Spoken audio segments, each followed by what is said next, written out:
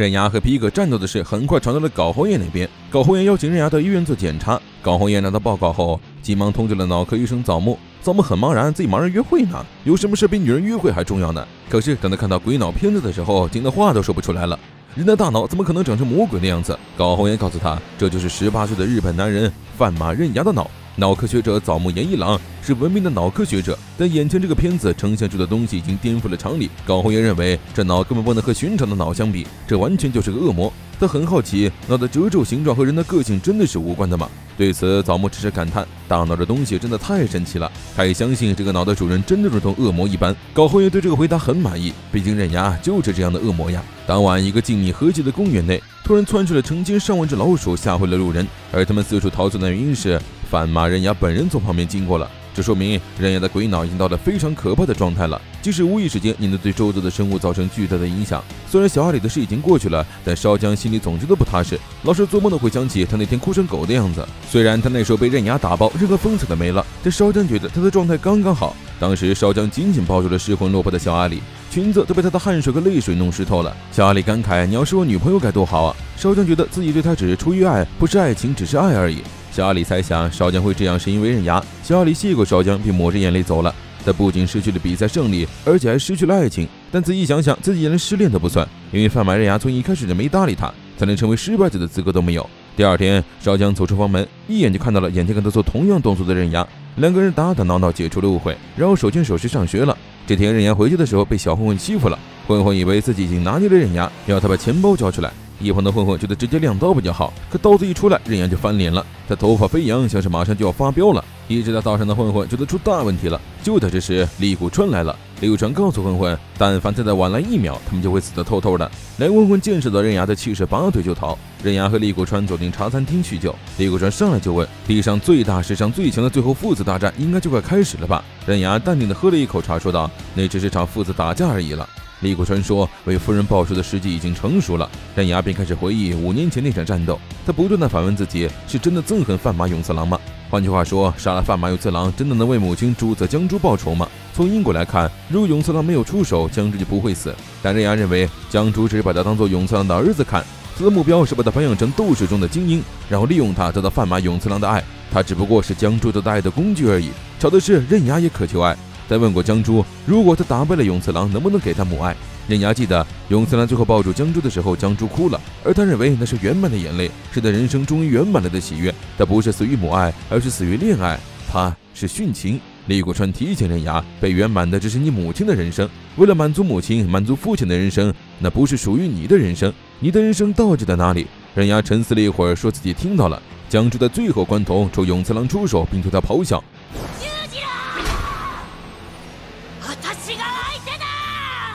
江珠说这句话的样子和声音永远刻在刃牙心里。刃牙热泪盈眶，那是他听过最好的声音，有那句话就已经很足够了。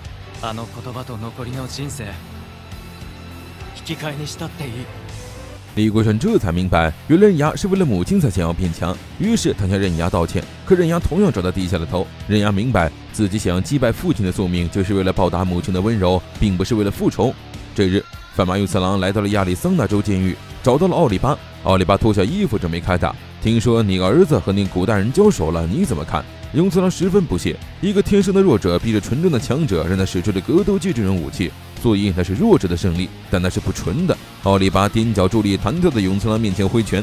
然而比起永次郎，他还是慢了一步。正脸重拳的奥利巴被强大的力道推到了几米开外，撞到了一大片书架。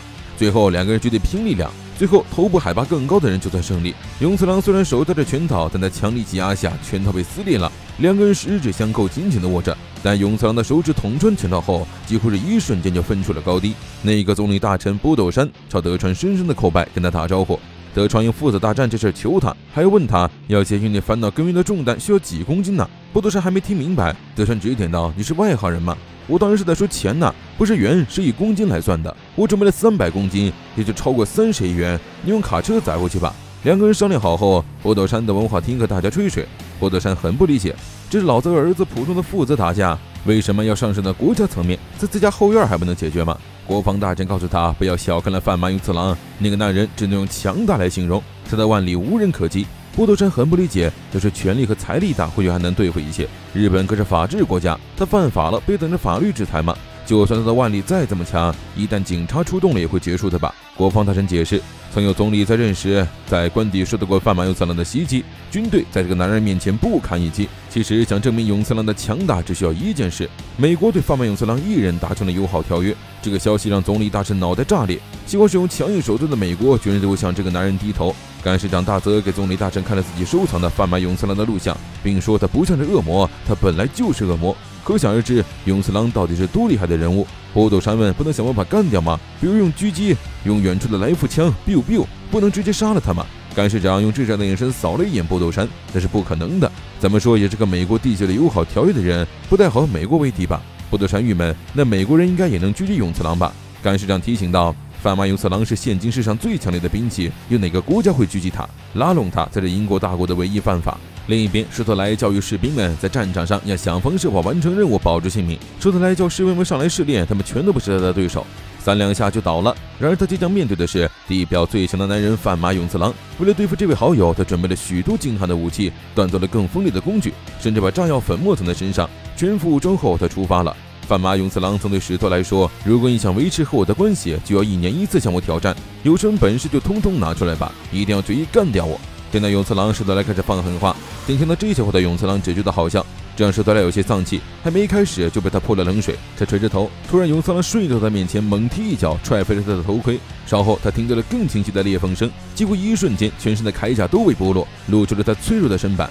他引以为傲的全副武装悉数被毁坏，只是被勇次郎踢了一下，像是被锋利的激光切开了一样。这一下，史德莱真正的放弃了对抗。史德莱一边说，一边抬起手对钟捶打。藏有火药粉末的拳套一碰撞就发生了爆炸。和恶魔战斗，就算没有抓到打出拳头的勇气，也要有自毁的底气。这就是他能和勇次郎交好的原因。晚上，日阳没有回烧焦那边过夜，而是在公厕一样的小屋里练习。他用鬼脑想象出半马勇次郎，勇次郎刹那间荡到他面前，然后摆出双臂扑了过来。这个男人如同暴风一样吹来，直接将刃牙的头发吹得竖立，刃牙立马摆臂挥击，两股势力对撞，瞬间迸发出了撼动山河的力量。刃牙的小屋受到这股力量的冲击，开始不停的摇晃，如同地震一般的晃动，从刃牙的小屋蔓延到更远的地区。尽管这是地震的频发地带，但是毫无预警的地震让大家措手不及，原本熟睡的武藏也被吓尿了。而人牙本人已经硬生生的被幻影揍到了墙上，砸出一个巨大的坑。对于这次战斗的结果，他说不上不满意，只是他清楚的知道，贩马勇次郎的实力远在他想象的这个幻影之上。隔天，勇次郎来到德川家，问他有没有好好做体检。德川好奇，勇次郎怎么可能会说出这么有人性的话来？他试探的问了一句：“你是勇次郎吗？你刚刚在关心我的健康吗？你对自家的小孩、国家权力，甚至连军队都一视同仁，就算是婴儿和军队也不放过。勇次郎，你也老昏了头吗？居然会这么温柔？”堂堂贩马勇次郎怎么可能这么温柔？激动不已的德川刚冲勇次郎好玩，结果自己就接连吐出几个老血，扑倒在地。而贩卖勇次郎只是冷静的站起身，说了一句：“都叫你不要再说了。”勇次郎因为精于战斗，现在获得了一种特殊能力，对于进入视野中的任何人，他都能立即分辨出其弱点，包括但不限于癌症和蛀牙等。总之，他能看穿一切病症，而且这些弱点他一个都没有，这才是地表最强男人的风范。同一时间，住着家具的厉海王来到一家拳击馆，向教练同意他入门。教练不想收他这样只有一条腿的选手，但厉海王不断的纠缠，教练只好让厉海王进门，想看看他打沙袋是啥样。厉海王猛力发功，一拳揍出去，刹那间沙包中的填充物漫天喷涌。更让人惊讶的是，拳头落下那个地方竟然是完好无损的，大家都吓懵了。这么牛掰，还需要在这儿入门吗？第二天，拳击馆聚集了一大堆记者，因为东洋太平洋超重量级冠军麻仁赵夫在这里。他是比赛数和生涯回合数一样的男人，是这里的神。听说厉海王一拳干爆了沙袋，他心头一百万个不相信，便想去会会厉海王，但厉海王拒绝了，因为他觉得马人招夫太弱了，还不够让他使出全力。马人坚决要比，厉海王只好奉陪。他一脚后蹬，靠着往前的冲力将身体送到擂台之上。厉海王认为，只要用到拳，拳击也是拳法。而且还是不完美的拳法，所以不用他得意的踢击，他也能用拳法打爆这个傲慢的冠军。厉海王说完就摆开双腿，露出了打拳的架势。他旋腿回身，旋动腰部避开了麻人打过来的直拳，而且直接揍到他的脸上。籍籍无名的拳击新手竟然一拳放倒了世界冠军。麻人招呼过了很久才清醒过来，他感慨厉海王实在太快了，快得根本反应不过来。此时厉海王还在边上站桩，教练训斥他没有好好训练，要学拳击就要认真的练习拳击。厉海王反问：“那为什么正统的拳击会被我打倒呢？如果你相信自己是正确的，那就让我见识一下能和我对抗的拳击手吧。”马人看向厉海王，这话说出来就是以全世界的拳击手为敌了。但厉海王不在乎，因为他本来就是这么想的。这天，刃牙来到神信会和克斯叙旧，克斯还在和空塑料袋战斗。他凌空弹起，追随塑料袋再射出一脚，顺势抽出手鞭，一举将轻盈的塑料袋冲到了十几米开外的地方。刃牙笑了一笑，扬起手边将袋子打了回去。刃牙从地面一步步爬上了九楼，就是为了找克斯说话。没想到一段时间不见，克斯已经适应了断臂，而且有了新的流派。克斯说起范马父子大战，刃牙觉得自己跟永次郎之间，就算知道了为什么要打，也挡不住他们本就要大战一场的宿命，因为是父与子，生来就注定了。刃牙顺发一脚，仅凭踢击向上的冲劲。就把青的袋子劈成两半，克斯惊呆了。刃牙这功力真不赖呀！听说厉海王去打拳击了，任牙十分不解。好好的武术大师，干嘛当拳击手啊？克斯却说，厉海王还是厉海王，他不会用拳击术，而是要用中国武术一路打上去。任牙好奇厉海王要玩多久，克斯也不清楚，但他相信厉海王会打拳击，直到他输掉为止。第二天，教练让厉海王戴上拳套，他要如他所愿，让他见识到能让他使出全力的拳击手。这位教练的口中货真价实的重量级拳击手名叫基利，他曾是一名军人，除了首场赛事外，其他全是击倒获胜。教练相信这个牛人能让厉海王吃点苦头，但厉海王不信邪，连头盔都不想用。而教练却说自己是为了他好，不然他可能会死在擂台上。被教练嘱咐不能死的厉海王有点蒙圈，这个对手真的值得他做好死的觉悟吗？吉利拔脚转身，以拳护身，在完全侧身之时，仅是阔步一迈就来到厉海王的身前，并高速突击一拳，直奔厉海王的脑袋而去。厉海王摆臂抵挡，就被他那快准狠的冲击推了出去。被推到围绳上回层的厉海王承认，这真的是个好对手，但是这还不够啊！吉利滑步转身，再次发挥自己的手长和反应快的优势，冲李海王挥出一拳。而李海王在屈脚踢击后仰，却在后仰后弹身，他居然自己的脑袋顶出去，直接对上了吉利刺来的拳头。头锤与拳头的比拼，竟然是前者更胜一筹，两者对碰发出脆响。乍一看，吉利选手的拳套都已经被砸扁了。在遇到厉海王的头锤之后，他的手指折断了几根，而厉海王却没有要停的意思，吉利也没有喊停。厉海王探出左拳，抬高右手，摆好了继续攻击的姿势。只听他慢慢喊：“三、二、一！”厉海王一边倒数一边前进，吉利紧张的侧手缩着臂膀，用拳头挡住了半边脸，只留下一只眼睛偷瞄。厉海王出手了，他攻击的目标不是要害，而是在前头防御上的腕骨。他要的就是个吉利硬碰硬。厉海王一拳出手，只一击就打断了吉利的手臂。听着清脆骨头断了的声音，就知道基利被打得有多痛了。厉海王几次都完胜，自然有了名气。这不，金牌经纪人凯撒找上门来了。凯撒是世界级名人，他一出场，顿时吸引了所有人的注意。凯撒希望厉海王能向他展示一下。厉海王转身找了一只最大号的拳套，接着他打出一拳，顺发而出的冲击波横扫一片，凭空击在凯撒的身上。他竟然凭空一拳把后世的拳套打穿了。看到他捅出拳头的拳头，除了漂亮，凯撒已经找不到形容了。这短促干脆的爆发力，不就是寸劲吗？不愧是拳雄，咏春拳也信手拈来。但李海王就觉得自己很逊，要不是怂了，也不会选择又老又旧的大拳套。其他拳击手都看呆了，在他们的认知里，拳头是不会破的。而李海王心想：算了，今天就离开拳击界吧，实在太丢人了。凯撒觉得他牛逼坏了，这种人就应该去更大的舞台战斗，那种地方又有钱又有名，你真的不想去吗？李海王对钱和名不太感兴趣，但凯撒听说那个舞台有让他想逃的怪物对手时，李海王脸色马上变了。就这样，李海王命运的齿轮在凯撒这里再次转动了。最终，厉海王和教练在凯斯的带领下坐上了前往拉斯维加斯的飞机。教练没想明白，你们去享受荣华富贵关我什么事儿啊？拉斯维加斯富丽堂皇，到处都是金钱的味道，但厉海王不喜欢这里。他觉得这里不够真实，到处都是人造的假货。凯斯却挑刺地说：“有很多三流货色已自称真品，甚至还扬名立万呢。”厉海王知道他在讽刺，便坦然地承认了：“中国功夫里也有数量惊人的冒牌货，粗糙的武术流传后世确实没有意义。”凯撒没有搭理他，管他那些呢，假的街道又如何？欢迎来到拉斯维加斯。厉海王寻思，这个喝下去的话，就会上不了擂台了哟。而凯撒却相当放松，没事的喝吧，到时候让我再见识一下醉拳。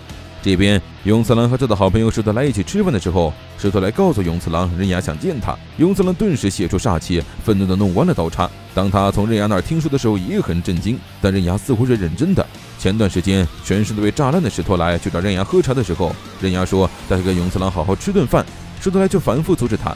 刃牙追问：父子之间好好吃顿饭很奇怪吗？石头来劝刃牙三思。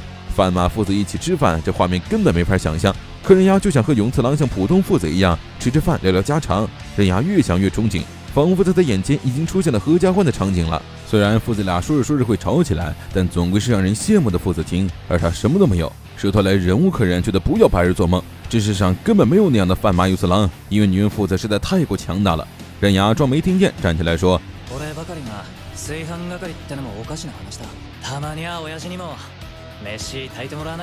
石头来把那天和刃牙的谈话复述了一遍。永次郎强忍怒气，黑着脸听完，竟然敢叫我煮饭。永次郎气势汹汹走到外面，再次想了一想，煮饭嘛，好像也不是不行啊。当晚，奥管还来到日本商谈父子大战的事，但大家都不理解，只是父子打架，让他们打不就行了。奥管还让他们听着这个危险的想法。他从内袋里掏出一个瓶子，这是石炭，准确的说是石炭粉。那天他要求永次郎给他捏钻石，这一瓶就是结果。奥官还反复强调，这是永次郎找他的话做的。他想证明自己是美国总统，强大到能让永次郎臣服。然而就在德阳娘曲解事实的时候，永次郎冷不丁笑出了声，随后质问道：“你还有其他要求吗，总统？”高兴起来的大块头保镖们已经被永次郎打得屁滚尿流，失去意识了。日本高层跟奥官海都紧张的往后退。永次郎不是偷偷潜入进来的，而是打败保镖之后光明正大走进来的。永次郎单手捏着玻璃瓶，将其捏成粉末。在奥关海的手上画了个十字架，他要求奥关海重新对神宣誓。奥关海不敢造次，只好照做。誓言里有一条，会尊重您，对您的一切生活都不会侵害。永次郎想说的就是这个，他希望这些高层不要不识好歹，插手他们父子打架，否则下场会很惨的哟。为了和范马永次郎的父子大战，刃牙做了很多准备。这天，在茅厕小屋里，刚结束了战斗的刃牙正有气无力地躺在地板上，遍地都是汗水，连空气都充满了水蒸气。刚才他又开鬼脑，跟想象中的范马永次郎战斗了一回，结果就是他倒这起不来了。休息之后，刃牙开始做饭，切菜煮汤，看起来非常丰盛。刃牙一口接着一口地吃着，吃饱喝足的时候，他觉得有点不对劲儿，汤有点咸了。为什么会很咸呢？因为做这些的人是父亲范马永次郎啊！刃牙就像产生了幻觉一样，看到了摆着一张臭脸的永次郎。永次郎气得掀起桌子，一旁的刃牙被他连带着拎起来打转。刃牙双手撑地，跨出一脚，单脚踏地，让自己四平八稳的落下。如果贩卖永次郎真的会给他做饭，父子打架可能就这样开始了。看到了吗？这就是东想西想，产生幻想。刃牙寻思，这种随处可见的父子战斗，普通人家应该很寻常吧？刃牙在房子里嘀嘀咕咕，被门外的烧江听到了。烧江怀疑刃牙金屋藏娇，任让他随便找。还说：“既然你这么担心我，不如搬过来跟我一起住。”少将虽然嘴上说好的，并没有立马搬过来，只有刃牙独自在家中的地下室练习。他那诡异的鬼脑正在高速运转，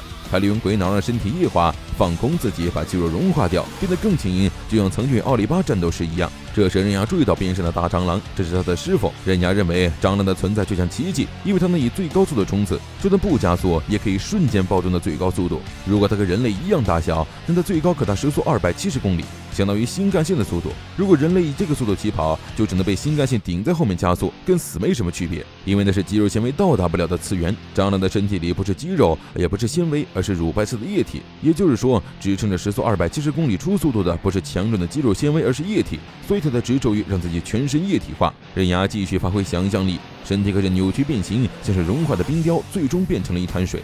在成功的瞬间，刃牙踏足前冲，整个过程快的出现了残影。他冲出的速度过于迅速，身上的汗水没来得及跟上，而停留在了原地。等刃牙收拾，那些汗水像是反应过来一样，快速的往下滴落，成了货真价实的汗如雨下。刃牙在家里休息的时候，从不上班的永次郎竟然来了。刃牙手忙脚乱，赶忙为他准备咖啡。一回头，老父亲已经坐下了。刃牙心里很慌，但面儿还是很淡定。永次郎就像是来讨债的一样，一言不发的端起咖啡就喝。你希望的父子关系就是这样吗？刃牙感觉见鬼了，眼前这么温柔。的人真的是永次郎吗？永次郎问：“面对你的父亲，你会感觉害怕吗？”老实说，刃牙每分每秒都在害怕，不仅害怕，而且还有憎恨。永次郎他详细说说怎么个恨法，刃牙却说：“我们是父子，不可能比赛，顶多是日常小事引发的战斗。既然你想要鸡毛蒜皮的小事，那我就满足你吧。”永次郎生气地问：“你让我喝这么难喝的咖啡，到底什么意思？”刃牙心头一抖：“说来就来嘛！”刃牙突然朝他跪拜道歉。按照剧情发展，不应该找到机会打起来了吗？怎么突然道歉了？刃牙整这一出，给永次郎也整不会了。永次郎。瞪大了眼睛，难道我拿错剧本了吗？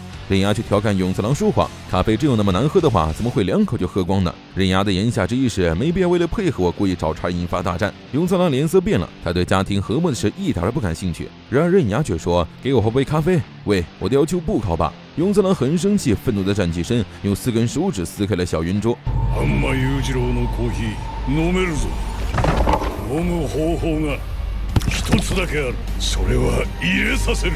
永次郎不停地撕着桌子，就像在撕橘子皮一样简单。最终，连木头纤维也被他撕开了。想喝他泡的咖啡，除非能打倒他。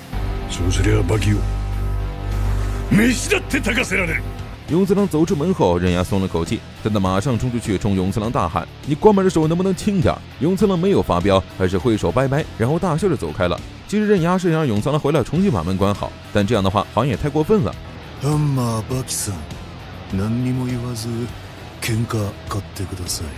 说这话的人叫柴千春，是华山君的小迷弟。人家没想到出来逛个街竟然被挑战了，而且挑战他的还是明显实力不如他的暴走族精神小伙。柴千春两手一挑，丢掉烟头，直朝刃牙射去。他的拳头对于身经百战的刃牙来说过于简单，只用一拳，刃牙把他给秒了。而柴千春之所以会找刃牙单挑，是因为他的偶像花山君让他这么做，而且花山君还说暴打刃牙不需要理由。柴进春在地上趴了一会儿之后，才倔强地爬起来，最后继续不服输地挑衅刃牙。刃牙警告他，刚才是最后一次，下一次不会再手软了。柴千春暴怒，谁让你手下留情了？柴千春拔腿飞奔，猛地旋身踢出一脚。但对于经验丰富的刃牙而言，柴千春的速度还是太慢了。他就算一动不动等着他飞踢，他也踢不中。刃牙单手抓住他的脸，将他整个人翻转过来。柴千春暗地回身，继续朝刃牙扑上去。他正要出手，刃牙先一步一脚踢到他的腿上，同时在转身收腿的瞬间，再给他一个大逼斗。随后是左右手交替轮番出拳。而此时，柴千春还保持着刚开始抡拳的姿势，可以说他跟刃牙的速度差了快一个次元。终于，柴千春的拳头落在了刃牙的脸颊上。不过，就刃牙的反应能力和高速打拳的表现来看，挨，这一拳或许只是出于对柴千春的愧疚。嘴上说着不会手下留情，但其实还是让了。柴千春不肯放弃，守在校园门口等着和刃牙决斗。刃牙爽快的答。但稍后他又软下气势，我是不可能跟你打的。他刚才只是顺手跟他过了两招，不会有第二次了。柴千春表示，非要说个理由的话，那这就是你的练习。说完，柴千春已经扑了上来，刃牙单手托他的脸颊，随手一扬，将他脑袋旋转半圈。这回刃牙还是手下留情了，仅仅是个他史上最强的大耳刮子罢了。被甩了一耳光的柴千春立刻扑倒在地，刃牙希望他醒了就赶紧回家。然而柴千春的脑袋里始终回响着华山君的话，于是睡了一觉的他又开始起身热身了。听到外面有动静，刃牙忍不住了，他要去教训一下那个痴汉。但柴青春已经在门口等候多时。等刃牙走到门口的时候，柴青春一拳横坐在他脸上。柴青春自信的认为，没穿好鞋的刃牙实力只有平日的十分之一，打不过百分百的刃牙，难道还打不过十分之一的刃牙吗？柴千春用手肘夹住刃牙的颈部，将他整个人拎了起来，最后夹他的脑袋往后摔，直接将他甩飞出去。刃牙一屁股落在地上，滑出去好远。柴千春加速猛冲，毫不客气地踹向刃牙的头。刃牙觉得柴千春完完全全就是外行人。但他的战斗力很强，原来斗志就是他的战斗力，而这正好是刃牙动手打架的理由。现在他又认真了，不管刃牙能不能认真，柴千春都没当回事儿，因为不管如何，刃牙都是他心目中的大怪物。柴千春主动迈进，冲向刃牙，最后用力挥拳，一记上勾拳正中他的下颚。然而这一拳打出去之后，柴千春手指关这个掌骨直接断了，还被刃牙用手背打中了脸。刃牙握着拳头，直捅柴千春的肝脏。柴千春感觉内脏深处传来的剧痛，嗷的嚎叫一声。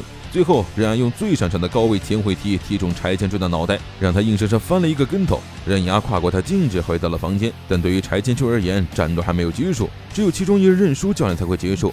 只要不承认，就永远不会输。刃牙准备出门买菜的时候，见地上没人，才松了口气。然而在他回来的时候，柴千春再次堵在了路口。柴千春正要说开场白，就被刃牙一拳揍飞出去。刃牙很感谢柴千春，特地来给他上了一课。但是他现在想见的是，为什么不用饭马刃牙的方式战斗？拜托，那是最简单的方法了。刃牙断定，只有在柴千春擅长的领域彻底击溃他，他才会心甘情愿的认输。不然，就算死了，他也会上门挑战。柴犬真很火大，你凭什么模仿得了我？柴犬真冲上来就要给刃牙一拳，然而在他猛冲上前抡出得意的拳头之时，刃牙早已看穿了他的动作。他侧身轻便跳起，探着头将体重往下压，竟主动将脑袋冲千钧的拳头砸去，结果是拳头粉碎性骨折，全都变形了。柴犬真伸腿一脚。在这一脚威力达到最大的时候，刃牙主动用正脸迎上去，让他正好踹上来。事实证明，还是刃牙的头更铁，因为柴千春的大腿骨咔的一声断了，腿骨被人脸冲撞骨折。就算是意志坚韧、体能强劲的柴千春，也开始怀疑人生了。刃牙劝柴千春，不如现在收手，免得左手也折了。但柴千春不肯，以弱取胜，把弱点当武器，不要命也要打，就是他这个外行人的青春流。所以关键还是在于敢拼命。他赌刃牙不敢拼。柴千春喜欢用脸去迎击坚强刚硬的拳用弱点去攻击对方的优势处，会最大程度打击对方的自信。用受伤的右手去迎击对方锻炼过的腿，那么对手的自信心彻底击溃。而这自创的流派竟然把柴千春本人逼到绝境了。柴千春举起二指，他又和刃牙比戳眼珠子，刃牙直截了当的同意了，但他表示这一招其实不是千春流，因为柴千春不可能攻击别人的要害。不过他敢被戳眼珠，事到如今，柴千春也不能说不了。他刚一下，任牙就出脚了。任牙脚尖踏地，全身下到几乎与地面平行，然后一脚踏爆地面，身体如离弦之箭往前射。帆布鞋承受不住突如其来的冲劲，被炸得稀烂。由于速度过快，两只鞋还按惯性跟着他踏步往前冲。任牙用眼睛盯着柴青青的手指，从他侧身掠过，就像打水漂一样弹到了几米开外的地方。柴千春本来想在刺到刃牙眼睛之前就收回手指，避免伤到刃牙，然而他的反应速度赶不上刃牙冲刺的速度，他的手指也被冲撞过来的刃牙撞得完全骨折脱臼。刃牙却觉得开心极了。他觉得这一招可以命名为“蟑螂冲刺”了。之后，柴千春把全过程讲给华山勋听，华山勋不敢相信他们居然玩这么大。华山勋暗示柴千春，他之所以输，是因为不敢牺牲眼睛，而刃牙却能做到同样的事。柴千春觉得，刃牙用眼睛撞上来的时候，就知道不会失明了。比如用超高的速度把眼睛朝对方的手指撞去，如果只是手指的话，应该没问题吧？那应该跟新干线列车一样快吧？华山勋看傻子一样的看着柴千春，柴千春越说越没底气，涨红了脸。就是呀，怎么可能会有人达到新干线的速度呀？可他们不知道的是，这个版本的刃牙真的已经达到这个水平了。上一回，德川吐血被送去搞红叶所在的医院，他被查出得了重病，但他赶着看父子大战，不想治疗。搞红叶几次劝他三思，但他仍然拒绝。他只是个嗜血汽车人，只想看热血战斗而已。所以他满心期盼刃牙和他爸能快点打起来。喝着酒的厉海王和凯撒教练三人来到擂台，凯撒上场向大家介绍，近代拳击最大的危机，最强的敌人出现了。换句话说，厉海王又在这里装逼了。凯撒现场睡得有滋有味，但他这是在强迫厉海王登场。还好厉海王很给他面子，没让他下不来台。被抢了风头的擂台主人安德烈很不爽，想把他赶下台。凯撒矛头一转，声称厉海王来羞辱他的。安德烈无语，就这个残疾的小个子能有什么能耐？而厉海王反呛他头脑简单，四肢发达，这么说不打都不行了。凯撒不愧是金牌制作人，还给厉海王准备了一堆砖头，想让他表演徒手劈砖。但厉海王觉得看劈砖有什么意思？劈人才是正道啊！这下安德烈脸更黑了。只见他扬起手臂，一拳将三块砖劈成两半。厉海王不甘示弱，大步一跨，快速下击双掌，速度很快。大家只看到他的手瞬间抬起，稍后原本粘合结实的砖块一点点出现了裂痕，到最后竟然完全粉碎，变成了个小土堆。最强氛围组凯撒大喊：“好了好了，这比赛就这么定下来了。”在城发布记者会上，厉海王大大方方接受采访，但他没有正式比赛的记录，也不理解比赛的规则，所以记者们都觉得他是鸡蛋碰石头，一个外行人找内行人的茬儿。厉海王没有说自己与轰动全球皮可战斗的事，也没有说地下竞技场还有死囚乱斗的事。被问到断腿的事，他只说是个朋友战斗失去的，可不能说皮可的事，否则这是殴打文化遗产的罪了。凯撒宣布，本次比赛规则是两个男人用拳头比谁更强，谁厉害谁就赢。回酒店后，教练认为厉海王在小看冠军，小看拳击，所以要教训他一下。没等厉海王同意，他的拳头就急速打了出来，几乎在瞬间抽手回撤。厉海王顿时鼻血喷涌，我是退休了十年的前拳击手的拳头你都看不到，还想去挑战现役拳击手？算了算了，打包收拾回家吧。教练叨叨完，想伸手拿啤酒，一抬手，才发现自己的手掌不见了，手腕关节不知何时脱臼了。厉海王一边道歉，一边上手把他给关节扭转过来。他只是反射性的扭断敌人的关节了，而被揍一拳是因为他本来就没想打算躲开。厉海王表示，这一拳就当是对他出手的惩罚。总之，他会继续待在这里。教练幡然醒悟，是自己太小看厉海王了。既然他都这么说了，那自己也留下来好了。厉海王在灯光和欢呼声中飞过围栏，安然落在擂台上。安德雷像疯狗一样张着嘴扑过来。厉海王觉得所有人都在演戏，要打直接打算了。安德雷在响亮的一刹那就拔腿的厉海王身前滑步，大家都被那华丽又浮夸的滑步姿这个速度震撼到。而厉海王竟然转身朝角落走去，而后在围栏脚下两手抓着围绳蹲起了马步。教练破口大骂：“你真是来比赛的吗？”安德雷停下脚步嘲笑道：“你没事吧？竟然把自己窝在角落，那可是拳击里最危险的地带。”裁判过来跟着骂烈海王。安德雷摆好架势后，烈海王放开围栏，然后整个人身体往下沉。安德雷紧盯烈海王，下一秒他却眼前一黑，因为烈海王蹲下身体，用拳头遮挡住了他的视线。安德雷顺手拨开烈海王的束缚，但紧接着又一只拳头盖了过来，才松开烈海王的右手，这下又换左手盖上了。安德雷愤怒地拨开烈海王的手，这次终于没有拳头盖上来了。短暂的失明后，安德雷定睛一看，烈海王消失了。但片刻后，烈海王竟在他的身侧出现，朝他轻轻挥起了拳头。不。看似轻巧，但这一招其实是无寸进，就是那个能直接捅穿拳头的功夫。感受到史无前例冲击的安德雷，整个脑袋都被打得震颤不止。这是连摄像机都无法拍到的奇异画面，超强脑震荡让安德雷再起不能。厉害王一战成名，财富滚滚而来。凯撒热情地跟他分钱，这里有两百万美金，重量二十公斤，那儿个箱子，自个儿去装好。厉害王答道：“既然你要我拿，那我就拿了。但我的钱旁边为什么有双脏鞋？”厉害王转身抽腿，一发旋风腿踢向凯撒。但他的目标只是那副墨镜而已。他早就看不惯凯撒看不起人的样子了。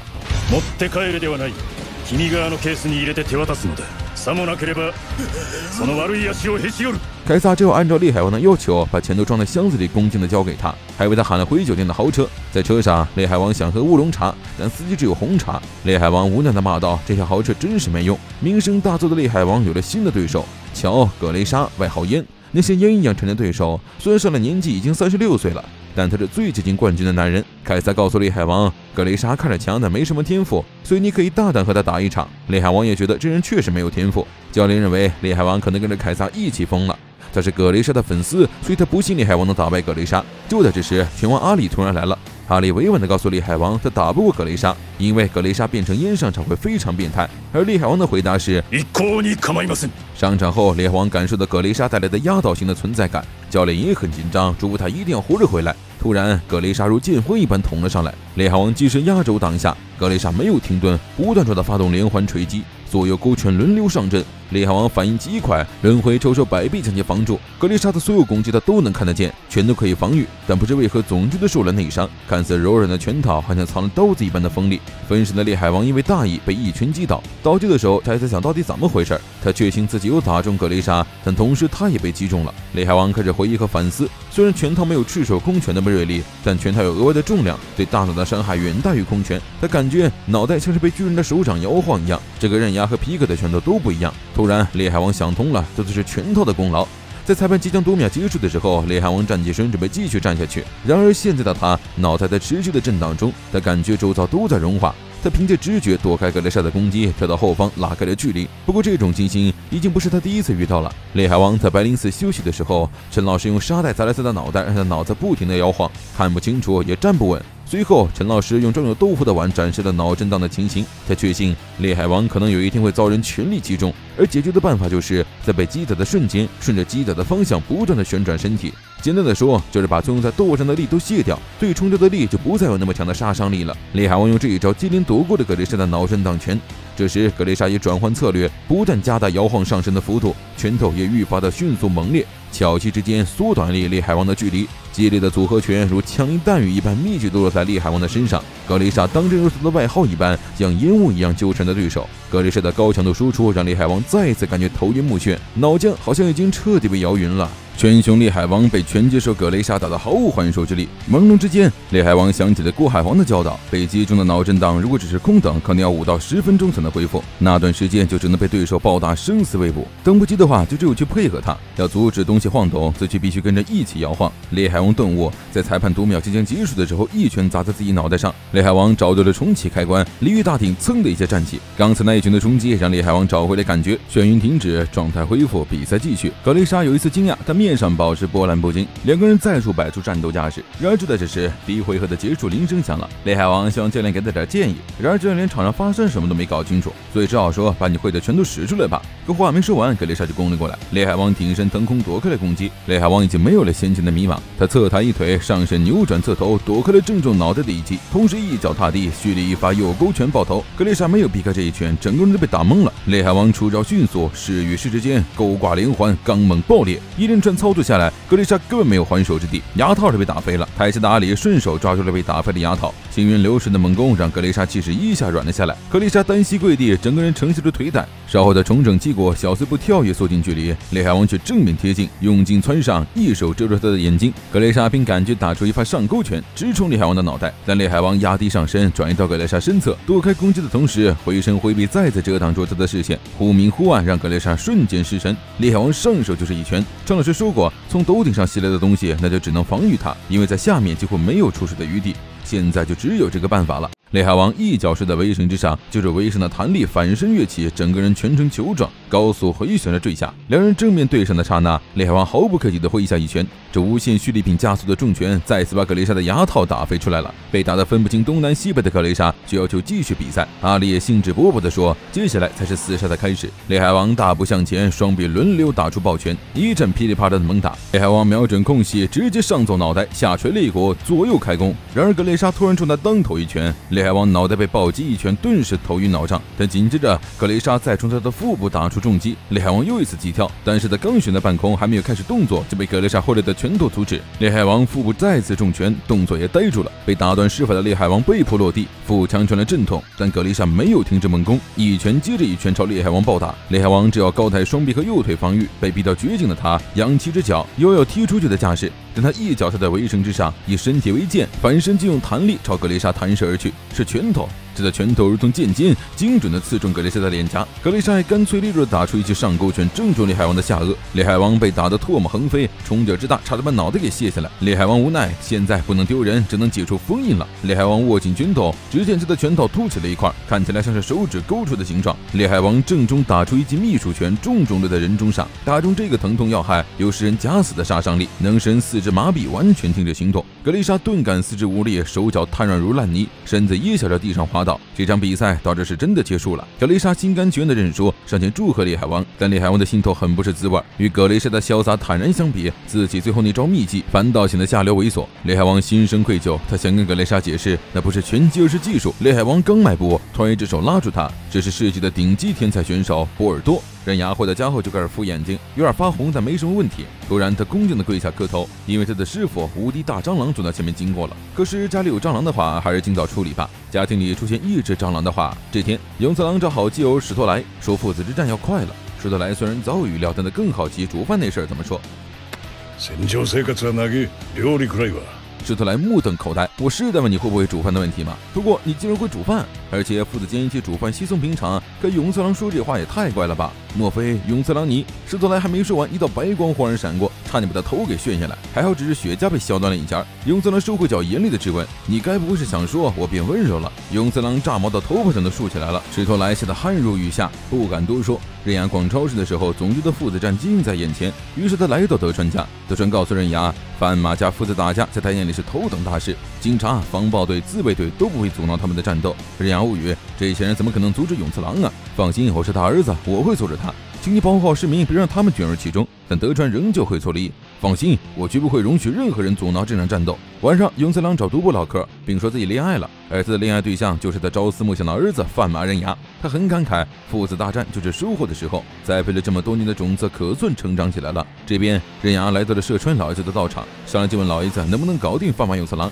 社川直接回答不能，因为永次郎过于强大，他连动手的念头都没有，这就是他的护身。他劝刃牙放弃战斗。输给永次郎不可耻，毕竟他那么厉害，不如堂堂正正的逃避他，远离永次郎，开启没有他的生活。但刃牙拒绝，而且坚称这不是对决，而是普通的父子战。在他眼里，父子战随处可见，别人身为儿子的权利，任何人都有权反对自己的父亲，他们的父亲也有义务去接受，这才是父与子该有的模样。刃牙预感永次郎今晚会来，所以他准备了丰盛的饭菜。菜刚上桌，永次郎就闪现来了。门外警卫队盯着茅厕小屋的动静，时刻做好拉响警报的准备。在侍卫们严阵以待的时候，永次郎就恭敬地对饭菜鞠躬。刃牙感觉五雷轰顶，永次郎怎么会这么有素质？看来自己真的一点都不了解这个男人。刃牙话锋一转，劝永次郎多吃点海带根儿，对身体有好处。永次郎面不改色地答道：“有防腐剂、着色剂、保鲜剂，这些化学物质对身体应该不会有多好。”但永次郎话头一转，不过只是健康的东西，也不能说是健全。両方を共に美味しいと感じ皮肉に変える度量こそが食には寛容だ刃牙震惊，没想到永次郎居然会这么正经有礼又温柔优雅，一直以为他是个野人，没想到还懂餐桌礼仪，连鱼都吃得这么艺术。刃牙忍不住夸赞永次郎，真的很想说。 收拾了碗筷的刃牙一直在想怎么开口让永次郎洗碗，而永次郎猜透了他的心思，闪现在他的身旁，要和他猜拳定胜负。父爱的光辉照亮了刃牙的心房，刃牙出的是石头，永次郎出的是剪刀。刃牙激动又懵逼，仿佛已经看到永次郎在洗碗的样子了。而永次郎却露出了奸笑，在刃牙欣喜若狂的时候，快速伸手用剪刀夹住了刃牙的拳头，然后两根手指指尖发力，夹得刃牙抽搐发抖，拳头硬生生的掰开了。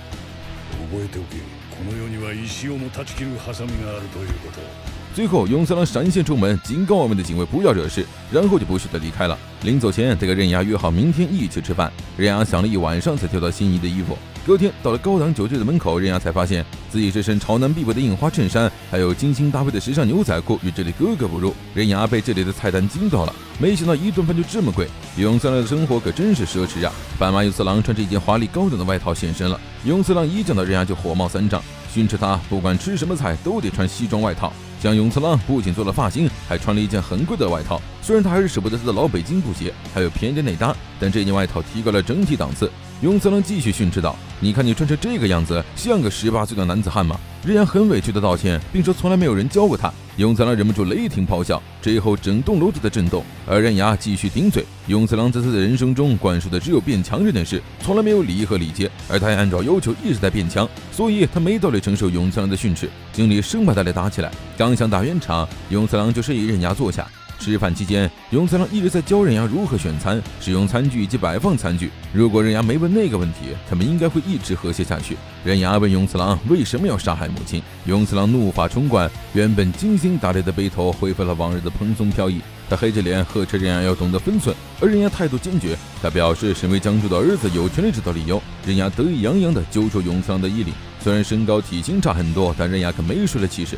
他双手交叉，绞住永次郎的脖子，继续不知天高地厚的挑衅永次郎。永次郎气得发狂，身后坚硬的玻璃瞬间裂开了长长的口子，最后整栋楼都在晃动。经理被吓傻了，所有人都在摇晃，但这父子俩却丝毫没受影响。永次郎一把抓起人牙的衣领，摆臂旋转，让他体验了一把究极大风车，最后竟让他精准无误地坐在了椅子上。人牙脑袋瓜还晕乎乎的，大楼已经停止了摇晃。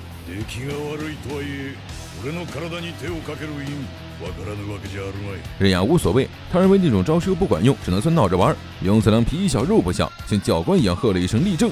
刃牙的身体条件反射般的笔直站好，刹那间，永次郎一个跨步，拔腿上前，被他狠拍一掌之后，任牙一头栽向玻璃窗，但他没有随着玻璃渣一起落到楼下，而是两手抓住窗户的边框回到房间内。他没想到永次郎居然打他屁股，然而永次郎却笑着的靠近。这四年日日夜夜都梦想和永次郎战斗的刃牙，在这一刻却犹豫了。他想逃，他根本走不了。而永次郎竟然走上前，温柔地抓住刃牙的手：“你没错，不过敢勒住父亲的脖子的你，这只手有错。错的不是你，而是这只手。”永次郎扬起铁掌，用力拍打下去。刃牙在最后关头抽出来，躲开了永次郎的拍掌。这么一搞，到现在永次郎自作自受，很逊呢。被惹火的永次郎一脚踹上刃牙的屁股。父子打架，招招不打弱点，怎么让儿子丢人怎么来。因为这是对儿子的管教，被一脚踹飞的刃牙直接穿到厚实的墙壁，来到了隔壁。而永三郎却颇有绅士风度的从正门进来，还礼貌的跟客人们道歉。跟刃牙一对比，他真是温柔又优雅呀。刃牙弹石起身，冲刺到永次郎的面前。当他贴近永次郎的鼻头时，永次郎竟然用更快的速度单手抓住他的小脸蛋。永次郎捏着刃牙的脸，将他悬空拎起，同时还优雅地对其他人说：“他这是在教育儿子。”刃牙捏住永次郎的手臂，双腿不停地挣扎，但永次郎对此游刃有余，他悠闲地扯着都朝窗台走。永次郎把刃牙的脑袋摁在落地窗上，接着他跟刃牙一起破窗而出。在地面，紧盯酒店动静的总理大臣瞪大了眼睛。永次郎和刃牙竟然坠楼了。永次郎抬高手臂，张开了手掌，犹如一张巨大的滑翔翼。刃牙想不明白永次郎为什么这么做，他绝不可能自杀，更不可能同归于尽。在他纠结的时候，永次郎突然他准备着陆。最后不到一秒钟的时间，他们急速下坠，砸扁了放在楼下的高档轿车。虽然过去听说过有人从高楼坠落不死的案例，但是亲眼见到也太玄幻了吧！总理大臣和士兵们都惊呆了。永次郎此时仍然紧紧抓着刃牙的脸，不过刃牙看起来好像失去意识了。永次郎笑道：“平日里豪车没什么用，现在来当缓冲刚刚好。”永次郎像丢垃圾一样把刃牙抛了出去，最后脱掉了他那昂贵的高级外套。饭也吃了，茶也喝了，该办事了。你还要撒娇到什么时候？这点程度就要你嗝屁了吗？刃牙笑道：“我动不了了，拉我起来。”永次郎伸出手，刃牙竟猛地用力，一手拉住永次郎，而另一只小往后蹬，利用牵制力让自己站起，同时还一巴掌甩在了永次郎的侧脸。但刃牙感觉永次郎的脸就像是风吹雨打的巨岩，用手掌拍打他，他却一点感觉都没有。顿时绝希望犹如刃压心头。这下可玩大了。永次郎气急败坏，一巴掌拍在刃牙的脸上，霎时刃牙整个人都被拍飞出去，如同射出去的飞箭，直直砸破钢化玻璃，射进了酒店大堂。士兵们立马出动，横成一排护在酒店门口。而勇次郎朝他们走来的时候，他们毫不犹豫，撒丫子就跑。勇次郎很生气，是因为刃牙竟然避开他的要害攻击，竟然对我勇次郎手下留情，看不起谁呢？刃牙痛得立马窜起，大喊大叫。刃牙痛得嗷嗷叫唤。勇次郎在自身直立的基础上，还将刃牙提到空中，加上他本人的体重，人牙本能的抓住永次郎的手臂，减轻疼痛。但永次郎迟迟不放手。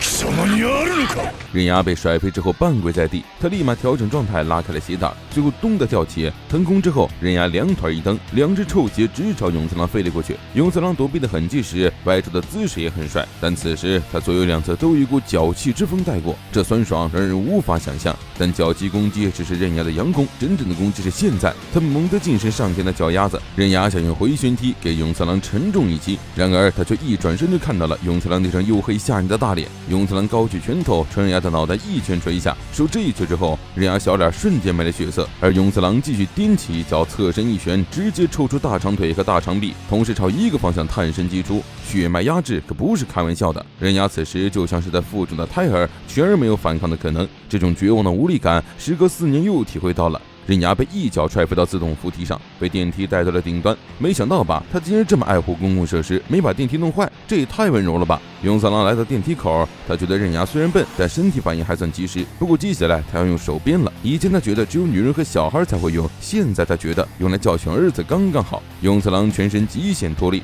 这看似弱柳扶风的甩臂，一巴掌扇在刃牙后背，却后劲十足。被击中的瞬间，刃牙顿住了，他感受到了史无前例的冲击和疼痛。而后温柔的勇。勇次郎扬起手，在刃牙的大腿内侧狠狠劈下一鞭，刃牙痛得不能自已，感觉痛感直冲天灵盖，让他直接窜了起来。刃牙下意识往外冲刺，而勇次郎笑呵呵地跟在后面，步步紧逼。被逼到绝路的刃牙决定赌一把，他毫不犹豫地对着勇次郎的后背抽出一记手鞭。不论多么耐打，怎么锻炼，皮肤被鞭打后还是会感到疼痛，就算是勇次郎也不例外。勇次郎没有面部扭曲，但也差不多快变异了，整张脸血管暴起，眼睛也充血通红，面部肌肉呈现丝网状。勇次郎。只是把鞭打时感受到的痛都分散了，身体一动不动。但其实他一口气驱动物体所有纤维，只有全身运动的痛来分散了皮肤的痛。为了保持高傲的面无表情的状态，勇次郎真的费了一番功夫。最后，他抬起手臂，做出了一场受力的姿势。刃牙被迫也摆出了攻击姿势。这时，德川在楼下喊：“居民们都疏散了，你们尽管痛快打吧！”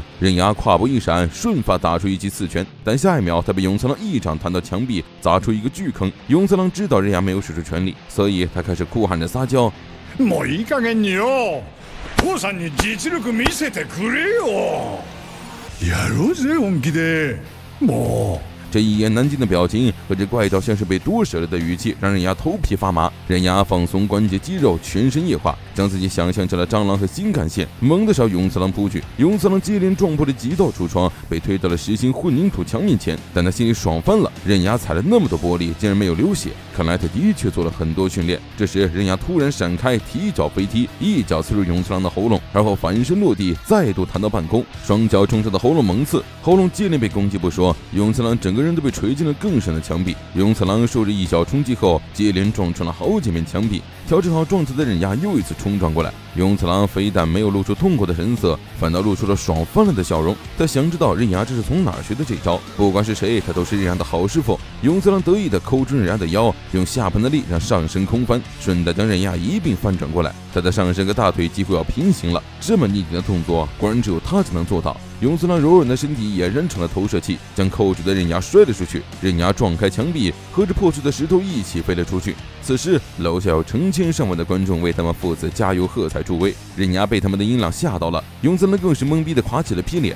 而这么多观众来捧场，是因为这对父子可是著名的都市传说，就算死，他们也想看看这对父子的风采。刃牙只是嫌麻烦，但勇次郎却轻微社恐，他紧张的大汗淋漓，于是他跳下楼跟刃牙打商量：“要不咱们今天就到这儿了。”刃牙猜想，勇次郎是怕输了丢人，所以想先撤了。毕竟他这么爱面子。勇次郎不是第一次在这么多人面前打表演赛，但是演戏的气氛让他感到陌生。刃牙不想错过这个大战的机会，他全身脱力，刹那间以伸展之姿，以超高速冲刺到勇次郎面前，一拳击中他的下颚，而后又快速下腰踢中他的大腿，最后一击直冲他的脖子攻击。超高速的蟑螂飞扑之后，再补上强劲的三连击，简直天衣无缝。攻击完毕，刃牙飞身后撤，与勇次郎保持了一段距离。刃牙出手的速度快到观众们根本看不清，他们只隐隐的看出刃牙好像悬在半空中了几下，但一眨眼，父子俩又拉开了距离，只有尘埃在慢慢的飘落。看不见招式的观众们都在猜想，到底是谁先出手。这时，战况解说家余地独步现身了，他告诉吃瓜群众，战斗早就开始了。勇次郎想起来，他确实教过刃牙，斗争是不能单方面终止，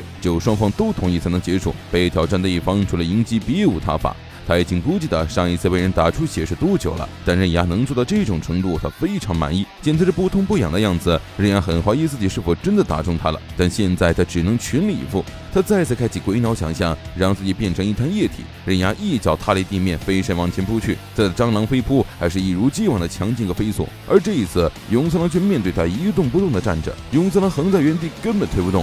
哎，刃牙很茫然，真就一点感觉都没有。勇次郎不以为然，同一个招数能对我有用吗？勇次郎起手一掌，狠狠拍在刃牙的脸上。大家还没反应过来，刃牙就已经被投掷出去了。陈胜说过，眼货必被打到，就会流泪到连对手都看不清。此时刃牙涕泪横流，有鼻血横飞，完全看不清四周。刃牙被拍飞到十米之外的地方，还在看热闹的观众们见永次郎阔步走来，纷纷四下逃窜。听到他的声音，捂住眼睛的刃牙双脚尖探，挺起腰身，直接从地上窜起，将蓄好力的拳头弹射出去。而永次郎侧身一躲，避开攻击，还一巴掌摁在刃牙的脑袋上。在手上发力，将刃牙的脑袋狠狠往下抠。勇次郎这重力一砸，让刃牙痛得要死不活。在地上滚了好几个踉跄，看戏的独步却在为勇次郎梦想成真而高兴。他培养出的好苗子终于开花结果了。感觉勇次郎在身后，人牙立马回身起跳，送出强劲的上勾拳。但勇次郎用比他更快的速度甩出一巴掌，第三次摁住他的脑袋。在下位的刃牙没有反击之力，又被打飞了出去。但刃牙有心再战，于是站起身，鼻血喷涌如注。他干脆堵住鼻孔，一口气喷。刃牙刚才的飙血怎么这么快就止住了？因为斗志是最好的止血剂，强烈的斗志会驱使脑部，促进肾上腺素分泌，达到止血的效果。因此，有优秀的教练故意挑衅选手，提升其斗志。刃牙登机起跳，径直冲勇次郎飞扑过来，落地的瞬间压低上身，冲上悬出一脚。这次瞄准的是雄性的弱点，然而勇次郎用更大的拳头接住他的脚掌，并顺手扣住刃牙的足弓。这一记足疗让刃牙绷不住了，刃牙收回脚掌，旋身起跳，一脚冲向勇次郎的头。但勇次郎只是轻轻抬手就拦下他的攻击，刃牙不甘心的甩出一发勾拳，然而他的拳头没有完全送出来，就被勇次郎一掌拿捏住了。刃牙毫不迟疑的给出下段回踢，而勇次郎不动声色的伸出拳掌，四平八稳的接住了刃牙的所有攻击。一连串的攻守较量快到只剩下了残影，吃瓜群众什么都看不到，只能听到噼里啪啦的打拳声音。只有久经战斗的高手独步才能勉强跟上他们的节奏。独步很开心，刃牙这小子真享福，还有他老子陪他尽情玩耍。真是羡煞旁人，但严格来说，除了刃牙，永次郎也没别的儿子能陪他玩了。刃牙手脚并用，攻势很猛，而永次郎竟然一动不动站在那里。快打一轮后，刃牙拉开距离，意犹未尽地看着勇次郎。德川和首相坐在远处静静地看着他们。德川心满意足，得亏警备部队都在维持秩序，终有好戏看了。勇次郎的表情比德川还要满足享受。刃牙这一串流畅有杀伤力的攻击让他热血沸腾，他控制不住的颤抖。而此时，刃牙感受到了一股熟悉的气息。他抬高手臂，又猛地下滑手臂，拳头一上一下，正好扣住头部，而后身体下压，两脚猛踏地面，一左一右成护卫之势。这是他自创的三角龙拳。他相信，凭借那个人的实力，他一定能够看到。勇次郎嗨到不行。和勇次郎一样兴奋的，还有被刃牙察觉到气息的皮克，他们都在等待刃牙接下来会怎么做。片刻，刃牙身后已经出现了栩栩如生的三角龙。由于刃牙的意志过于强大，他的想象过于投入，把三角龙的威严展示的淋漓尽致，所以就算是普通民众也能看得清清楚楚。渐渐的，刃牙的肉身隐藏在三角龙的幻想之中，到这里，他已经差不多能让幻想具象化了。巧的是，斑马勇次郎本是恐龙控，他迷恋恐龙，想要这种强大的生物一决高下。而现在，生不逢时的遗憾被亲爱的儿子填补了，在他眼前的是被他大几十、几百倍的梦中禽兽。勇次郎做好狩猎准备后，与三角龙合体的刃牙全力冲刺向前。刃牙这一发三角龙拳，竟把勇次郎一路推开。勇次郎顶住冲锋，试图踩步地面刹车，但刃牙来势汹汹，根本不给他停歇的机会。他划过路面，被抛开两条深深的道。勇次郎被他逼得连连后退，已经被推到了十几米开外的地方。挡住他们去路的车子被他们推得完全平移了过去。稍后车子被完全玩坏了，车轮散架，车窗破裂，整辆车子被撞翻了。这么强的能力，不去推土都可惜了。永三郎有点意外，忍牙竟然用不到一米七的身高，不到七十公斤的体重，就把自己推得连连后退，确实值得表扬。不过他表示，忍牙这气势磅礴的象形拳还是太嫩了，终究只是在形状上下功夫。简单说，这只是模仿。说完，永次郎双臂越过头顶扣在一起，十根手指向外扩散，犹如张开的花苞。这这不是花手吗？忍牙想看出名堂，就被永次郎训导。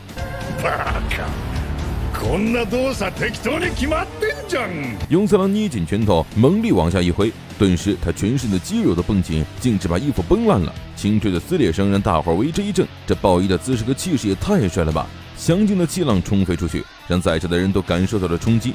人牙这才明白，这就是以贩马永三为原型的象形拳。这时，吃瓜群众在看到永三的鬼背，这盘结交错的肌肉，如同一张阴森可怖的鬼脸。人牙不得不承认，确实是这样。永次郎迈步跨腿，又陡然后撤，扭腰旋背带来更快的速度和更大的冲击。他向着虚空直直挥了一拳，气浪凝成一团，如炮弹发射一般直冲人牙的面门。他的脸上顿时出现了被揍的伤口。周遭的观众感受到一阵强风。永次郎轻盈抬脚，踢出一发气势磅礴的高位前回踢，美丽又震撼的弧度让人牙目不转睛。和出真时一样，气浪实体化了。气浪明明是看不见的东西，但这一刻却让视觉准确捕捉到了，就像急速升空的烟花，大家都看傻眼了。紧接着，永次郎被俯身摁地，一拳落在坚硬的地面上。他难道也能麻醉地球吗？地面震动，挡出一圈气浪。刃牙承认，这种象形拳的形态是最自然完美的。永次郎显摆道：“我又没有帅炸天。”刃牙表示：“你的硬拳、肌肉还有敏捷，都跟范马永次郎一模一样。”范马永次郎扮演的范马永次郎当然是完美的。永次郎满心欢喜地听着儿子的夸赞，然而刃牙却扫兴地说出了但是。他认为战斗形态的优点从来不在于表面。刃牙竟然当着这么多人的面跟永次郎抬杠，德川生怕被误伤，害怕得瑟瑟发抖。而永次郎娇俏地问：“那到底是什么？”两个人同时奔向对方，突然刃牙急速将拳头往后一收，而永次郎居然瞬间弯腰，脑袋往下扑，眼看就要狗啃泥了。世界第一的面子还要不要了？永次郎竟抽出右腿，一脚往前，在两只脚的支撑下，他的脸才没有狼狈地砸在地上。这就是偶像包袱刺激之下觉醒的力量吗？大家茫然，怎么了？怎么了？这个当爹的好像跌倒了。独步也大吃一惊，这个小鬼的十八岁就达到这种水准了吗？永次郎虽然觉得倒下有点丢人。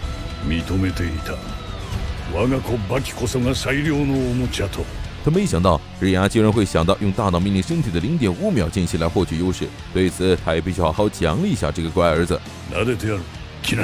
刃牙觉得永次郎疯了，刃牙怒了，开什么玩笑？刃牙觉得老爸脑子坏掉了，而永次郎却觉得只是摸摸头而已。儿子做得好，当然要表扬啊！永次郎说完，刃牙那不争气的眼泪已经滴滴答答掉下来了，而永次郎还在说。刃牙一方面渴望得到父爱，一方面抗拒永次郎。永次郎突然这么温柔的表现父爱，让他极其不适应。而永次郎仍旧温柔的劝他过来。现在他只想摸头杀。刃牙反驳了两句，但胸口开始刺痛。这难道是什么神奇的战术吗？不，这是临床上说的心碎综合症。渴望父爱的孩子在面对父爱的关怀时，却表现得胆战心惊、惶惶不安，不敢光明正大的去接受父爱，这是何其悲哀的事情！看到这一幕，独步和德川都潸然落泪，刃牙的眼泪止不住的流。他渴望被父亲称赞，这种事在他十八年的人生中都不曾有过，现在突然出现，实在很不习惯。刃牙感觉那只手就是无与伦比的诱惑力，他真的很想被永次郎摸摸头，但最后他躲开了。这是要看哪一方会赢的战斗，是看谁比较强的比赛。这种事还是比完再说吧。见刃牙不领情，永次郎只好换个话题，那就让人体验一下强的本质吧。再回神，永次郎已经在他身边抓他的手臂了。刃牙使出全力想要挣脱永次郎炙热的怀抱，但肩膀像是被怪力抠住，完全动不了。什么叫强呢？就是虽然你拒绝被我摸头，但我可以强行摸你的头，刃牙的臂膀会被捏断。发出了痛苦的嚎叫，这跟猥琐男当街猥亵少年有什么区别？被永次郎单手悬空抱起的刃牙不停挣扎，踢腿、打拳、挥肘，无所不用其极，但依然无法摆脱永次郎的控制。所谓的强，就是让人实现愿望的力量。只要够强，就可以为所欲为，可以想摸谁的头就摸谁的头，就像没人敢对贩马永次郎不敬一样。被侮辱的刃牙已经把这种本质刻在心里了。永次郎像拎着小奶狗一样揉搓他的脑袋，永次郎的冷嘲热讽让刃牙痛苦不堪。恼羞成怒的他，脑袋用力往上顶，正色的朝上踢腿，突然永次郎掰住他的脸蛋，让他朝向一侧，正好让他的腿踢中了他的鼻子。可怜刃牙鼻血喷涌，而永次郎竟然伸出食指沾满了鲜血，最后放进嘴里享受的吮吸。如果不能随心所欲，那就说明还不够强。永次郎抓住刃牙的臂膀，而后旋动下身蓄力将他往外抛，刃牙顿时变成了高速旋转的陀螺。刃牙牌陀螺旋转了几十圈后，转速才慢下来。当刃牙的脚尖能触碰到地面后，他立马踢出一脚，强制减速，让自己稳稳地站在地上。这就像滑冰选手一样，优雅完美的落地，让吃瓜群众惊叹不已。刃牙刚摆好下身，突然永次郎爆射出一脚，正中刃牙的下腹，吹得他再次飞上天，直到十几米外则扑通落地，都不慌了。永次郎，那可是你亲儿子呀，你想玩死他吗？刃牙被永次郎一脚踹飞，重重落地，骨肉触碰地面，发出闷响。然而永次郎却闪现在他面前，还用脚尖勾起他的下巴。刃牙吃惊的瞪大眼，永次郎用脚尖用力往上勾，竟然用一脚朝天踢，像是拔萝卜一样，把刃牙整个人拔起往上踢。刃牙滞空片刻，身体开始往下坠，而刚落到与永次郎同高的时候，永次郎一记钢拳快速击中他的腹部。刹那，大家再看到刃牙时，他已经痛苦的倒在地上，无法动弹了。通过这次痛苦的被打经历，刃牙已经明白了什么叫做强。忍耐和克制自己并不会变强，这是不够强的借口。无法按照自己的意志行事，也就是不够强。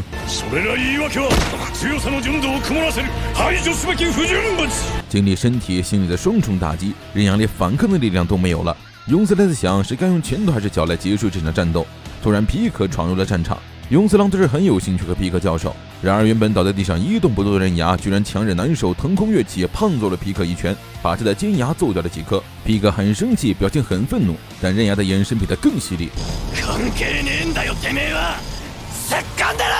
皮克虽然不知道他在说什么，但他能猜到自己应该是被骂了。自然界不成文的规定，双方对阵的时候禁止其他人搅局。他没有遵守这个绝对法则，所以失去了牙齿。被刃牙训斥中的皮克安静地转过身，默不作声地蹲在地上，进入待机看戏模式。永次郎这是很乐意看到两位猛男为他争风吃醋的样子。不过要不是皮克突然出现，这场宴会早就结束了。刃牙预感永次郎会攻过来，便做好了跨步前冲的准备。但是在他知道之前，永次郎就已经知道他会知道了。他预判了刃牙的预判。刃牙原本想利用那零点五秒的间隙对永次郎发动猛攻，但是永次郎比那零点五秒更快，最终让刃牙倒下了。但永次郎知道这都是刃牙装的，他猛地一抬脚，用力往下踏，刃牙噌的挪开位置坐起。永次郎对他后脑勺踢出一脚，被大家以为会被扫腿击飞的刃牙，在永次郎横扫过来的时候，又逃到了别的地方。刃牙寻思，要是我能赢，我早就赢了。永次郎跟他一样，双手插兜。这刃牙在向他挑战，看谁先最快拔拳。剑士、枪士们都喜欢这么干，就连同次元的龙叔文也喜欢这么做。但不论是哪种情形，永次郎都非常自信。每个人从想到落实，都会有发动讯号的零点五秒时间，而现在他们比的就是谁能更快捕捉到对方的讯号。刃牙双手是在口袋里伺机而动，然而永次郎却抬手，没有必要等在决定攻击前半秒了，他会在攻击的前五秒开始倒数。当手指握成拳头，就开始攻击。永次郎问刃牙准备好了没？刃牙一脸懵，准备啥呀？我根本就没答应。但永次郎已经在倒数了。刃牙只要让身体蹲下，让双手顺势抽出口袋。永次郎大喝一声，放慢拳头靠近刃牙，就在靠近刃牙侧脸的时候打出一拳。没想到吧？永次郎也会寸劲。刃牙身体悬空，即将被打出去了。但这不代表他输了。刃牙抬脚下压，狠狠砸中永次郎的肩颈，然后在下尾腿往上提，正中永次郎下颚。这正是模仿虎鳄磨牙动作的秘籍虎王。永次郎被刃牙摁住手臂，接着刃牙翻身将他摁倒在地。快看，老父亲把儿子摁在地上打了。原本高高在上的永次郎，现在却被钳制在地。这种反差让观众们大惊失色。刃牙使劲掰着永次郎的手臂，他相信永次郎不可能现在结束这场战斗。就凭他这永次郎，他不可能输。奥利巴和皮克独步都觉得刃牙大意了。正如他所说，他的老爸不可能这么弱。这时，永次郎右手摆出了 OK 的手势。接着他抬起手，刃牙紧紧抱住两只手臂，妖兽了，这什么逆天姿势呀？两根手臂竟然跟地面垂直了。友情提示：普通人千万不要尝试这个姿势。刃牙不解，就算这样又能干什么呢？突然，永次郎的拳头直插地面，小臂几乎完全没入柏油路。在这瞬间，他扭腰转背，手臂再度向地下发力，同时抡起拳头，拳头的另一端冲出地面，利用转背让身体转动半周，一拳直中刃牙的腹部。怎么可能在打穿地面后毫不减速地从另一个地方打出拳头啊？这是只有永次郎才能做到的事情吧？被打飞的刃牙颤巍巍地站起来，裤子下流出了尿液，刃牙真的被打尿了。刃牙此时并没有羞耻，而是骄傲。他很自豪有这么强大的父亲，但同时他下定决心，他会不择手段的取胜。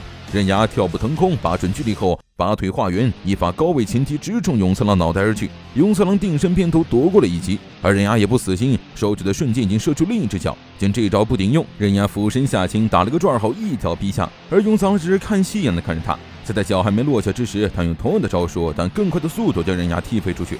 这边永次郎已经收势，单脚深蹲游刃有余。另一头，刃牙被踢飞后翻滚到几米外，几番减速也单脚深蹲落地。刃牙本以为永次郎要骂他，然而永次郎却分外的温柔。なかなかなことでは目覚めないらしい。お前の内に眠る遺伝子をな、叩き起こす覚悟をした。刃牙很震惊，其他人都明白永次郎且结束这场战斗了。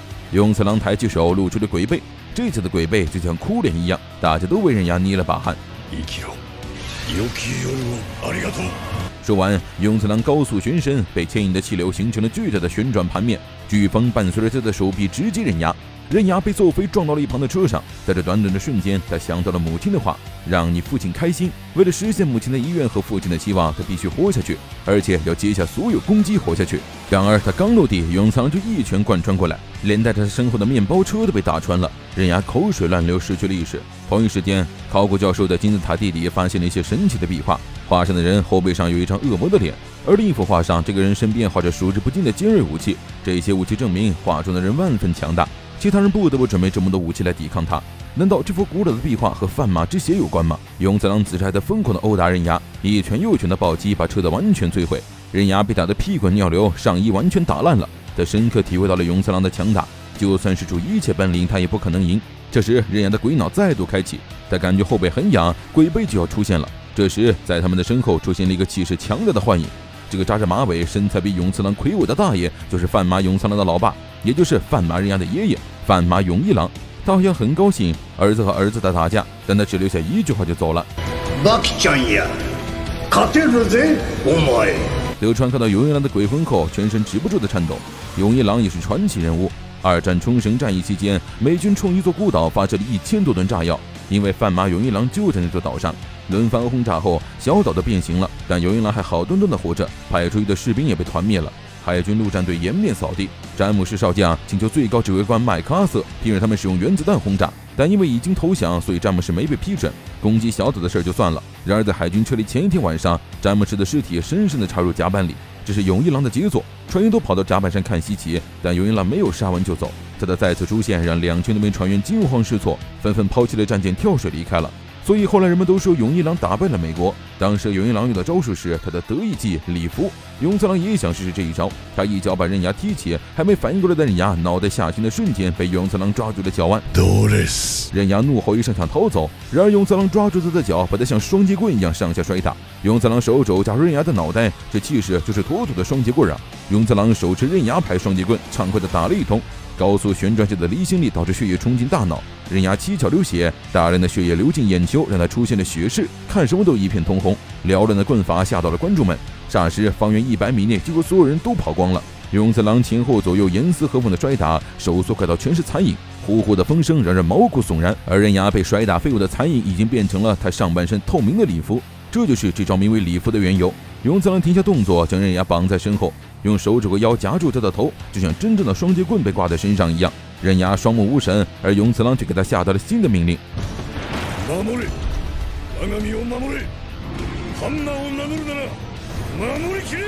而他之所以这么说，是因为他要把刃牙派双截棍当武器，狠狠敲打旁边这辆拦路的汽车。永次郎举起刃牙，此刻刃牙只是他的双截棍，儿子就是他的武器。虽然看起来像虐待，但永次郎很骄傲，刃牙能被他这么玩。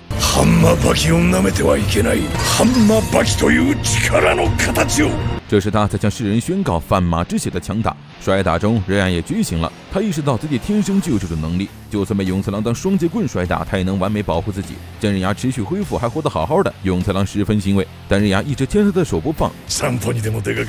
刃牙递给他一只机械零件做的小人偶，说是报答他一直以来的礼物。永次郎一看大吃一惊，这是刃牙刚才被甩来甩去时抽空做出来的，难怪他总觉得打在刃牙身上的力没有全部打出去。永次郎一边说，一边把人偶收进裤袋。稍后他才注意到刃牙说的一昧接受的弦外之音。永次郎气急败坏，一发扫踢射向了刃牙，而刃牙回身空翻躲开了他的攻击。也就是说，刃牙已经重振信心，决心拿下永次郎了。面对这样的挑衅，永次郎怒发冲冠，向刃牙发起冲刺。而刃牙鬼脑灵光一闪，以更快的速度一脚踹上永次郎的脸。永次郎血沫横飞，被打出几米才停下。刚站定，刃牙就冲上来补了一脚，正中他的咽喉。大家彻底傻眼，刃牙的鬼脑已经开发到这种程度了吗？速度和信息接受速度是以前的好几倍吧。而永次郎却沉浸在喜悦之中，无敌的他站在顶峰，孤独寂寞冷。虽然有一身惊人的力量、名誉、金钱、女人唾手可得，但他很寂寞，因为他根本找不着对手。而现在终于有一个不错的玩具了。刃牙手脚并用，连续暴打永次郎，比永次郎还快的速度和打击准心，让刃牙信心倍增。他骄傲地昂起头，挑衅地冲永次郎摆手。永次郎抬腿下劈，却被速度更快的刃牙踢中膝窝。随后，刃牙用同样的招数，凌厉劈空下斩，将他踢翻在地。这就是刃牙的爱好，用对手擅长的招数摧毁他的自尊心。但永次郎并没有受伤，他得出了一个结论。他纵身跳起，与刃牙面对面站立。刃牙鬼脑大开，周身冒出蓝光。这场战斗让刃牙的鬼脑再度进化，打通他的任督二脉。现在他会好好回报这个教育他的老父亲。刃牙开启想象力，全身液化，头发都立起来了。最后小步冲刺，给了老父亲全力一拳。永次郎被刃牙的礼物感动，他快要被爽翻了。过去他周游世界，寻找能满足他的对手，但结果只有无聊。而现在他终于找到了梦想中的对手。这个对手不仅在他家，还是他的一部分。而刃牙却说，永次郎是他的玩具，得到玩具的小孩会把玩具玩坏为止。也就是说，他会把永次郎玩死。听到这话，永次郎更兴奋了。父子战术唠嗑的时候，少将加入了绘画。少将觉得他们俩好无聊，打几拳就逼逼赖赖半天，踢几脚就婆婆妈妈，要打就打，不打就停下来。干嘛用打架培养感情？这也太无聊了吧！刃牙表示，我们是父子，当然会唠嗑，而且这个游戏只有我们父子俩玩，这么多致命招，一般人根本挺不住，好吧？刃牙知道少将是让他们回想起父子之爱而停止战斗，可他不知道打架是他们表达爱的方式。正说着，永次郎突然偷袭，刃牙警惕的闪身，食指摁在他的手腕之上，而后借尽实力将他往另一侧带。永次郎失去重心，霎时浮空倒下。这是何气道？永次郎坠身空翻之时，一脚上窜，一记倒挂金钩重重劈下。刃牙双臂交叉抵抗，重力挤压让脚陷进了两道大坑。刃牙勾腿上踢，用脚趾揪住两三郎的头发，将他往下一带。烈海王看了都得直呼内行。下水中的永次郎猛捶地面，稳住了身形。刹那，永次郎弹腿而出，笔直朝刃牙攻去。刃牙下意识抱住了，差点把他上身贯穿的大长腿。没想到老父亲竟然能翘起一只脚将他这样挂着。不过这么看，刃牙还没有永次郎腿长是怎么回事？片刻，永次郎甩开脚将刃牙甩飞，飞出去的刃牙小步减速才停了下来。回头时，永次郎告诉烧江：“这是烧江和刃牙吃禁果前永次郎嘱咐的话。”少将担心永次郎怀疑他没有做到，但永次郎却说：“不管有没有，反正刃牙变强了，他都必要感谢他。”说完，永次郎和刃牙一起劝少将离场，因为他们的较量还没完。少将并不打算走，可没等他说完，父子俩就打起来了。父子俩拳脚相向，较量进行了数个小时，一拳一脚势均力敌，根本谈不上谁压制谁。刃牙腾空跳到永次郎肩上，最后扭转头部，让永次郎的头跟着旋转。这就是专攻断脊椎的转莲华。烈海王再次直呼内行啊！永次郎的身体和头顺着刃牙旋转，用手臂的力抵消了旋转的伤害，轻轻松松化解他的招数。当初杰克是这样破解了刃牙的转莲华。贩马这些不准的杰克都能破解，作为老父亲的永次郎没理由不会。看他们战斗的观众突然意识到，这父子俩其实关系非常好，全世界的父子都应该以他们为榜样。刃牙骑在永次郎身上骑大马，此刻他们都没有遗憾了。宴会到了尾声，刃牙翻身落地，抱住永次郎的腰部就往后摔。永次郎后脑着地，就露出了满足的笑容。他单手站起，刃牙盲目的在上前哼哧两拳，接着是正中胸腹的一脚。永次郎保持笑脸，对刃牙的耳朵举起了双手。这一招对对江珠也用过。猛的拍打之下，刃牙的脸颊被打得通红，耳膜破裂，耳道喷出血液。吃过这招的也就郭海皇还活着了。这是在告诉刃牙，这一场较量并非只有和睦融洽，最终必须分出胜负。永次郎带度拍掌，把刃牙整张脸都拍变形了。随后，他放下刃牙。他从小就教导刃牙要把拳头当成武器，直到现在，刃牙也牢记着。两个人蓄力朝彼此猛冲，互相揍拳头，噼里啪啦一顿霍霍后，两人脸上冒出了白烟。父子俩扭转身体，持续不停的送拳。就在这时，一个瘦弱的人挤到了第一排，他跪在地上做出了祈祷状。父子俩热血搏命，打得有来有回。大家都没想到，刃牙竟然和永次郎势均力敌。父子俩持续不断的挥拳，挥拳速度快到只剩残影，红绳四起，打出刺眼的白光。观众们认认真真看，越来越多的人开始祈祷。永次郎曾在弱小的民众面前对抗强大的军方，而他这样做不是因为善良，而是因为军方是强大的一方，他要找强者较量。大家将他放在神圣的位置，也是因为他总站在强者的对面。在大家眼里，他就是天使。考古教室这边，他们发现了一幅壁画，这一幅上两个体型不同的人正在打架，他们猜想这或许是父子关系。后面的人是谁不清楚，但看起来他们很高兴和两人对决。与此同时，华山勋和小弟柴千尊在人群中不停前进，寻找最佳观看位置。这不就是壁画中看热闹的观众吗？这壁画还真是越看越神了。可是华山勋块头这么大，后面的人还怎么看呢？华山勋嘴上说着不会往前面走，但身体很诚实的突破重重人群，走到了第一排。刃牙和永次郎互殴持续不停，观众们越靠越近，圈子围得越来越小了。全国各地的人也都看到这场父子大战。观众中最心痛的人当属杰克范马了。渐渐的，永次郎张开了手掌，但刃牙依旧没有停下，一拳一拳的揍在永次郎脸上。时间差不多了，永次郎一把抱住刃牙，随后他双手交叉，猛地用力，刃牙肋骨被勒断后，他才松开了怀抱。华山勋记得这一幕跟五年前一样，但不同的是，刃牙并没有死，只是周身多处骨折了。不过到这就行了，因为这场较量已经有结果了。永次郎转身离开，观众们夹道感谢。这个男人真是太温柔了，而刃牙却用意念幻影踹了永次郎一脚。接着，刃牙的斗志幻影竟然又开打了，但永次郎没有还手。他让刃牙停下，随后开始用想象在手中切幻影豆腐，做出了一碗味噌汤。这里有想象出的筷子、桌子，还有汤。如刃牙想象的那样，汤有点咸。永次郎不以为然。听罢，刃牙直接掀翻了桌子。永次郎急忙接住，却发现手上什么都没有了。而刃牙反倒说：“永次郎很生气，但转眼又变成了一副笑脸。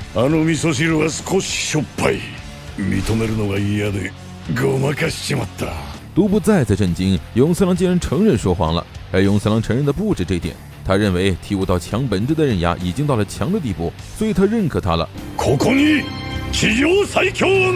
顿时全场欢呼。刃牙的耳膜破裂，并没有听到永次郎的话。他表示胜利者是最后站在高处的那个，所以永次郎回头看着的时候，他就已经死了。